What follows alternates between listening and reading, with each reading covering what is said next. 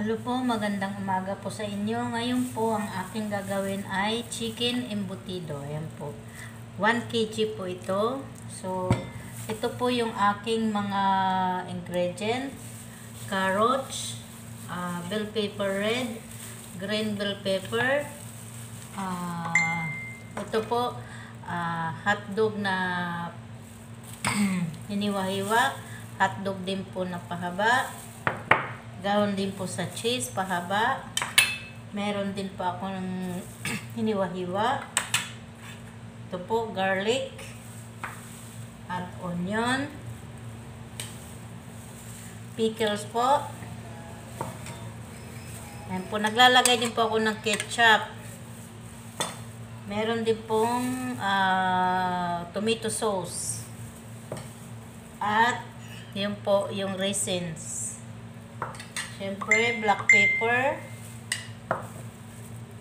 asukal, at ito po, asin. So, umpisahan po natin at breadcrumbs po. Ito po ang breadcrumbs. Ayun po, ilalagay na po natin ang ating mga ingredients. Ayan po. Una ko pong ilalagay ay ito pong asin. So, po. Tapos, black pepper.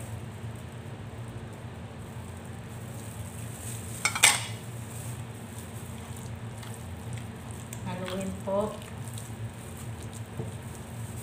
Lagay ko rin po yung garlic.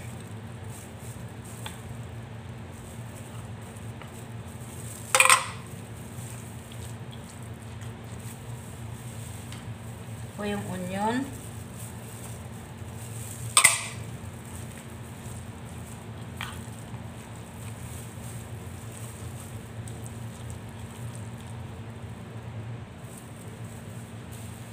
Lalagay ko na rin po yung carrots.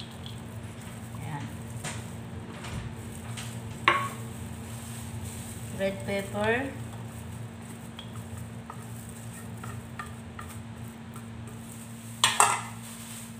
Green bell pepper. Ayan po, imimix.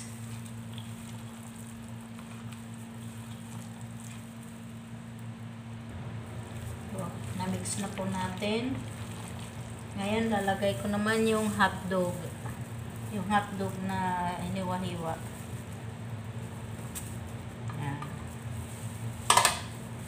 Ito po yung raisins. Yung raisin po, inugasan ko muna ito bago ilagay. Ayan. Haluin po natin ulit.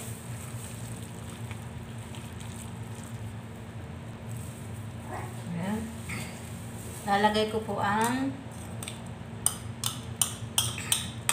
pickles.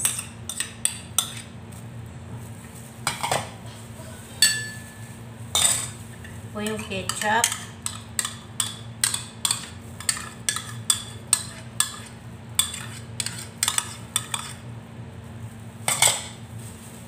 Tomato sauce.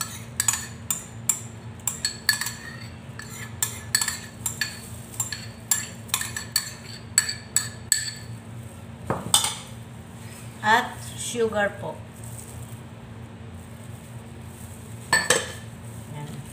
Haluin po natin ulit.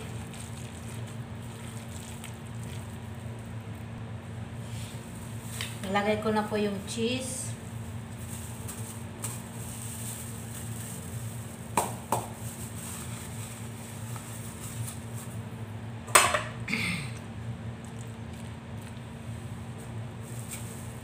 Ito po yung breadcrumbs.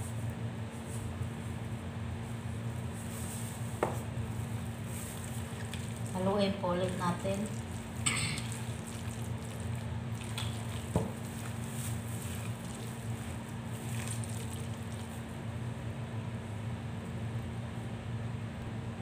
Bali po yung breadcrumbs ang ginamit natin ay 3 cups. Ito, 3 cups po ng breadcrumbs ang ginamit ko. Haluin ko lang po ito ng haluin para ma-mix po. Magamit din po ako ng magic sarap. Yan po. Hindi po ako naglalagay ng bitchin. Ito lang po ang gamit ko. Bali po, haluin ko po ng kamay na lang para mahalo po ng maayos. May gloves naman po tayo. Yan po. Haluin natin para ma-mix ng maayos. Yan.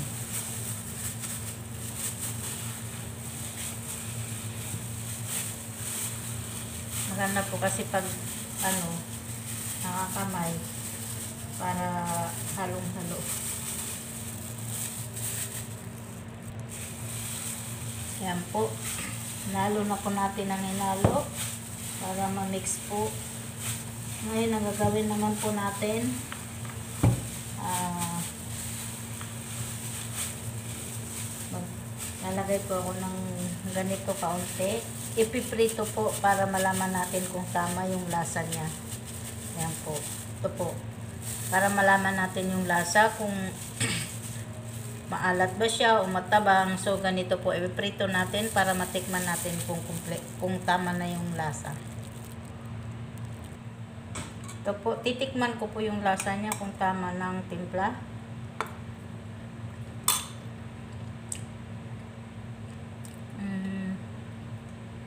Kulang pa po sa alat. So, dadagdagan pa po natin ang alat. Yan po, dinagdagan ko pa po ng alat. Bali, 1 teaspoon po ang dinagdag ko. At itlog din po.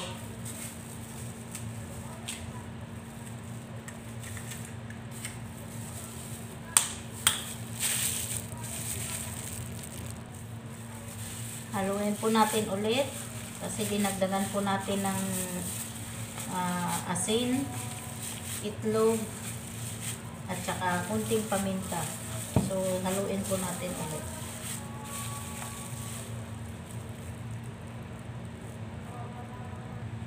Ngayon po, mag-umpisa na po tayo magbalot. Ito po yung gamit ko na aluminum foil. Ayan po. So, ngayon po, magbabalot na po ako. Po.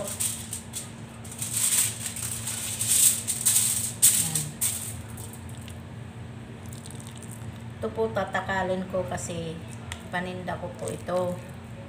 Kaya kailangan takalin para pare-parehas po yung laki at yung dami.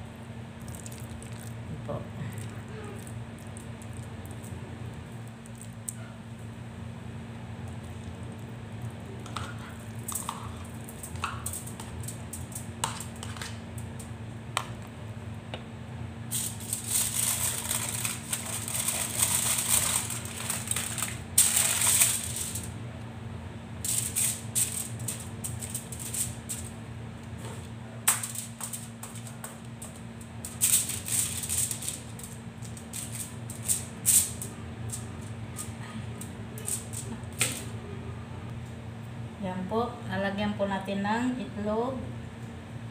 Yan. Itlog.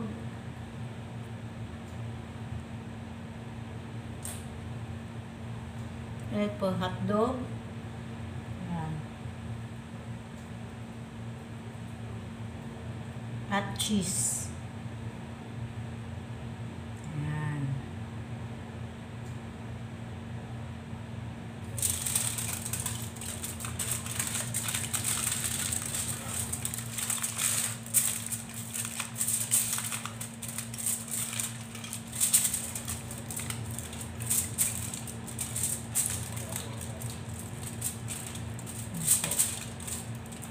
Nisiksik po natin yan para ganda po yung ano. Yan. Bago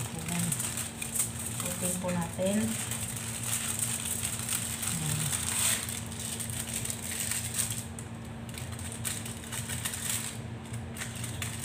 Bago po natin isarado, yan. Iayos po muna natin dito. Yan. Para po hindi lalabas. Ito po. Ayun, bago pit- Yan po. Ganyan. Yan. Pilipitin po. Yan. Bago ganito din po sa kabila.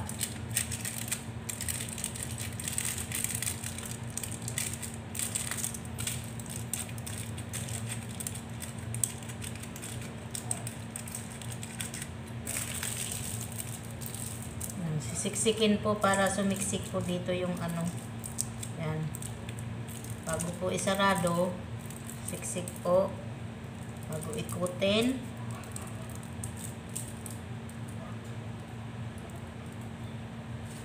Yan na po. Yan po yung ating chicken embutido. Yan po.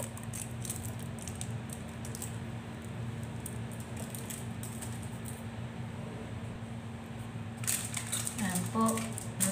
Na po tayo magbalot ng ating lumpia. Ay, lumpia, sorry. Ang ating em, chicken embutido. Yan po.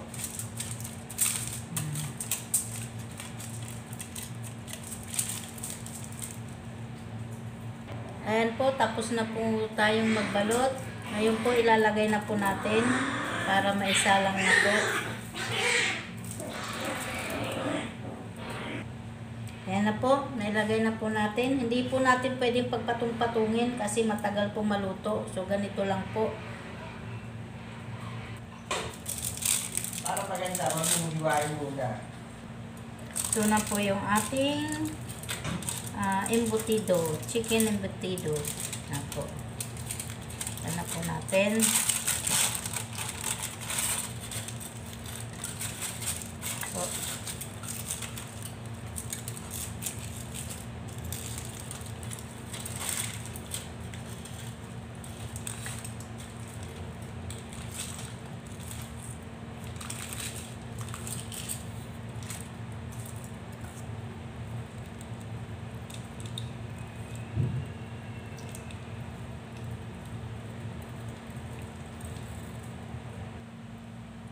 Ito na po yung ating chicken embutido. Yan po. Ayan. Ito po ang chicken embutido. Tikman po natin. Mmm. Po. Sarap. Bye-bye po. Sana po magustuhan nyo po ang aking video. Paki-like, subscribe na rin po at comment rin po. Salamat po ng marami.